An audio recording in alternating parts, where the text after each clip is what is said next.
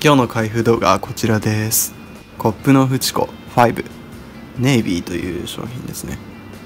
こちらは封を閉じているボックスを購入できました。こちらもヤフオクにて落としました。狙うはこの持ってないんですよねシークレット。後の1回落ちたフチコとかその件は後ほどフチコとか。顔ペタンのフチコ洗顔のフチコ。ここら辺はですね多分このネイビーではないかもしれないんですけど持っているんですよ。これのシークレットはですねこうネットで見るとすごい高くてこうなったらもうボックスを買ってしまった方が安いかもしれないと思っていろいろねかぶってたくさんゲットできますもんねこっちの方が。では開けてきます。よいしょ。開けにくいな。よいしょ。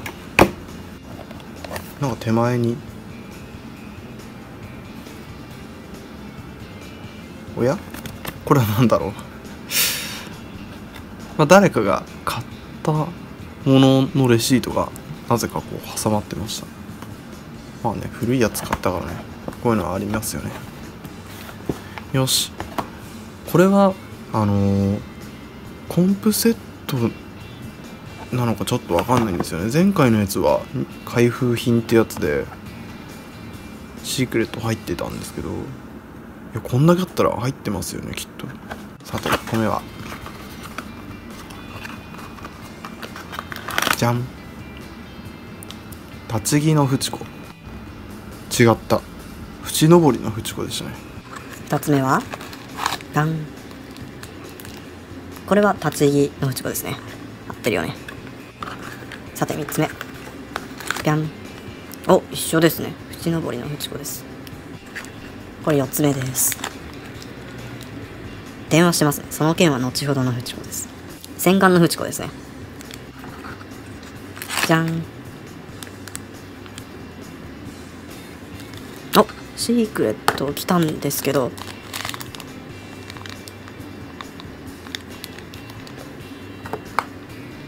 これなんか本来ちっちゃいフチコさんがここ乗ってるはずなんですが乗ってないですねわめっちゃ不良品じゃんこれえこれ言えば変えてくれんのかな？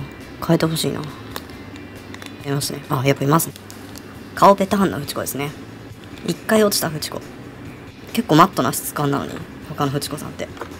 水に落ちたからか、なんかこう、テカってるような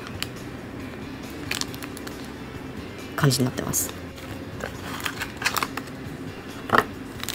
立ち木のフチコさんですね。なんか前回と同じであれば、シークレットは1個しか入ってなくて、あとのはこう、微妙に2個ずつかぶるみたいな感じになってるんですかね。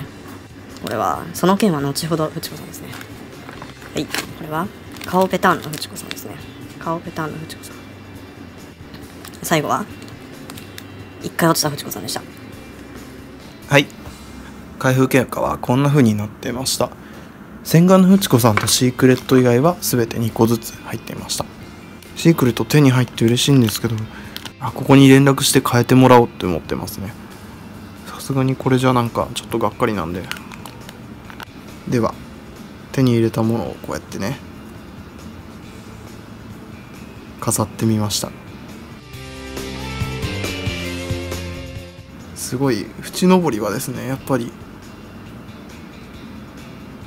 バランスが難しいなっていう感じですね。うわ 立ち木が落ちちゃいましたね。この子も多分もうちょいコップの厚みがあればもうちょいこうホールドされる感じなんですよねきっと。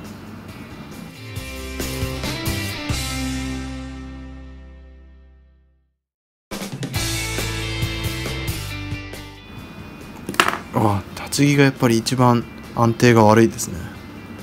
動かしちゃうとダメなんですね。これこっちにはくっつかないよね。あこっちでもいけるんだ。あこっちの方が全然いい感じのバランスですね。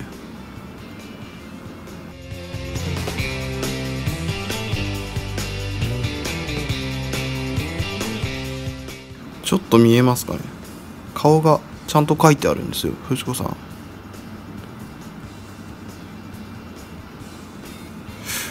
れバキって言いそうだからちょっと怖いんですけど。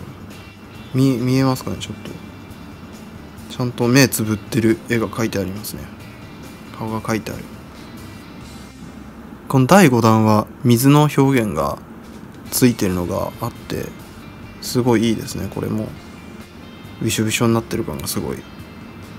わかるっていうか。髪の毛とかめっちゃリアルですよね。なんかへばりついてる感じ。ずぶ濡れになっちゃいましたみたいなね。でもこれ一個思うのがこう外側にしかくっつけられないんですよ。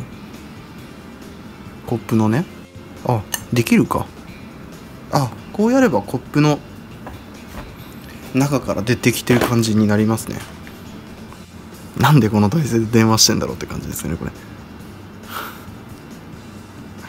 面白い本当にすごいシュールなポーズが多いですよね。五段は。この立ち木のポーズっていうのは実際どうやってやるポーズなんですかね。よくヨガを知らないので。立って片足でこの体勢になるってやつですかね。でもこれつま先立ちしてんだよね。実際はベタってしてやんのかな。すごい難易度の高そうな技ですよねこれきっと。これはフチコさんシリーズとはちょっと違うかもしれないんですけど今いっぱいこうねコップの縁にかけられる商品が出ててでそれをこう地味に集めていました。でこれぎゅうぎゅうにやってしまったんでちょっと見づらいんですけど1個目この猫ちゃん黒猫ちゃん？これはベローチだったかな？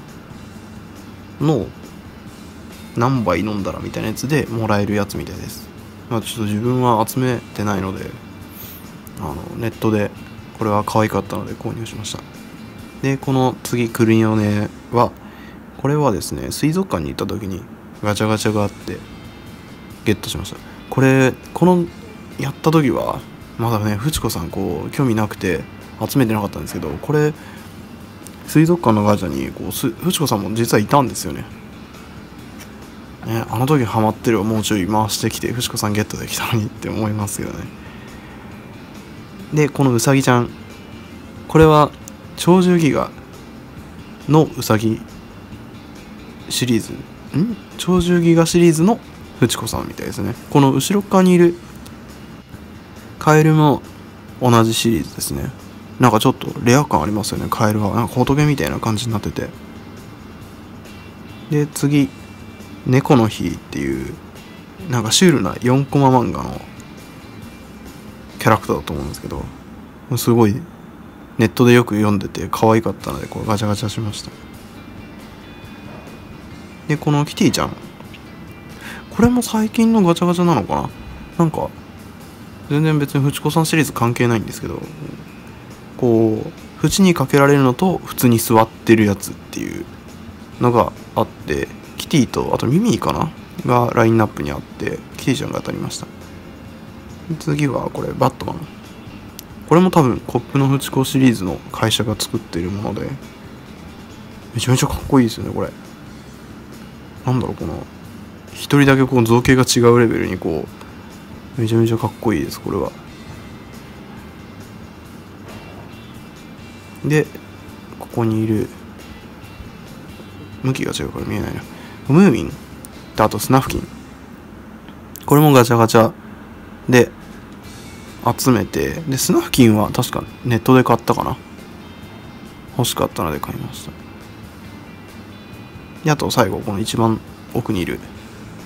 ヨシスタンプっていうねキャラクターの結構こう顔の威圧感がすごいキャラクター。こちらもこちらはねずいぶん前にガチャガチャやってましたね。これはもうフチコさんハマる以前にもこのコップにつけれるシリーズは知っていたのであ可愛いと思ってやって運よくねこのウサギとクマさんが当たりました。他はねやっぱりこのシリーズも確か縁につけれないやつがあったような気がするんですけどつけれるやつが2つとも当たってくれました。